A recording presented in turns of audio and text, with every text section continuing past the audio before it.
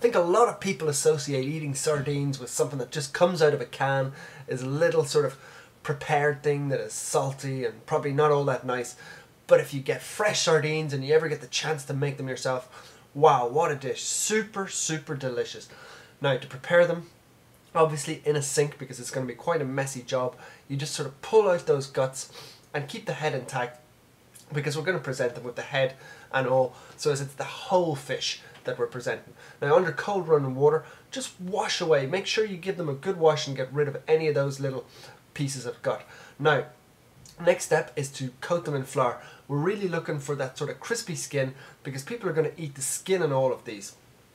And we're going to seal them off very, very straightforward in a little frying pan in a bit of olive oil until they're crispy on the outside cooked through to the center and you can choose your choice of garnishes either a simple salad but that's gorgeous simple sardines